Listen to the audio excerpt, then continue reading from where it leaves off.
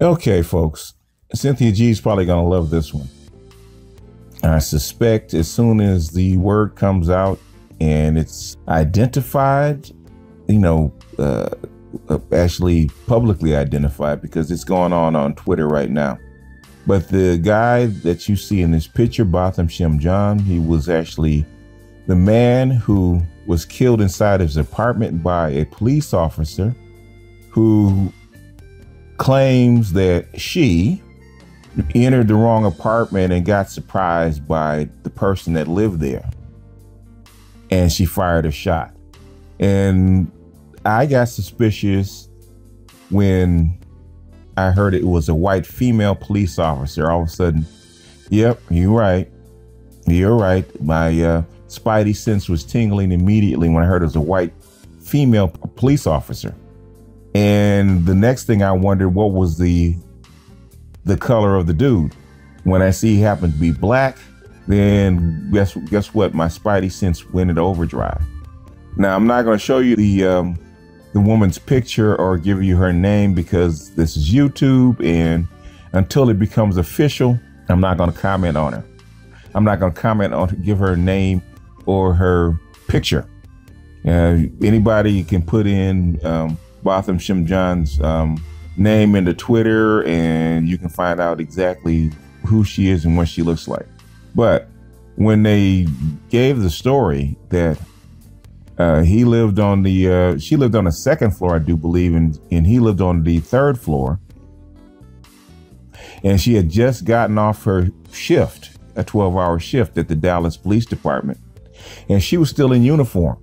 Because at first I thought she was off duty, you know, she was out of uniform and she was drunk or she was high or something like that. And she made a mistake. But I don't know too many officers that actually get loaded in uniform. So I don't think she was high.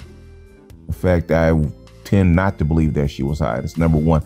Number two, if she wasn't high, how do you one go on the go to the wrong floor? Even if you're loaded, you know, basically your autopilot will take you take you to the right floor. And then if you go to the wrong door and your key doesn't work, you look at the the uh, apartment number because all the apartments are numbered in this particular building.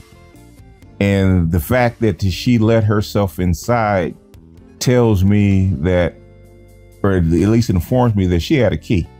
And if she had a key, when I first heard it, that means she knew the dude.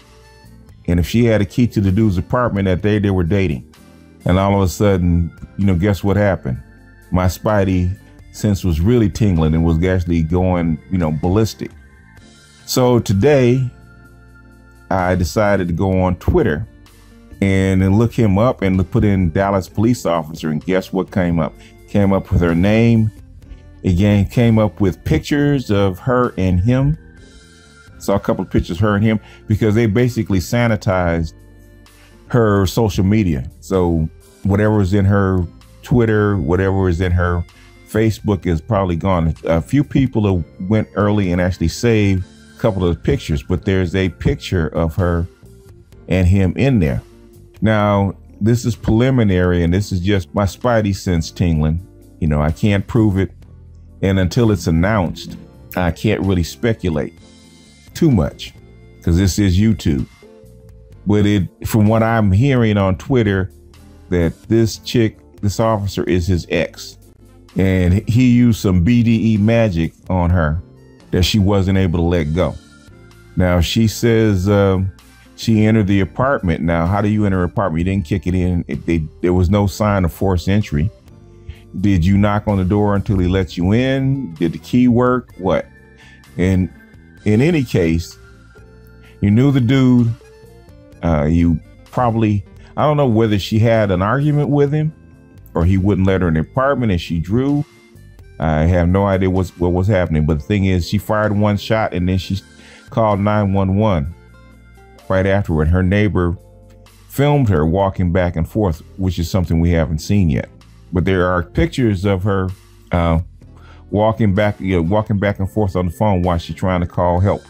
So this may be a get out scenario where dating a white woman can be hazardous to your can be hazardous to your health. So basically, you have to date white women with a little bit of caution. Well, evidently, bruh is not from here. He's a foreigner. I'm trying to remember. I think he was from the island of Antigua. I'm not quite sure. I think it was Antigua.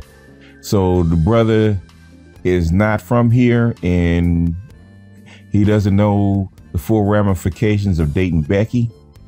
And especially if Becky's a patrol officer with a gun.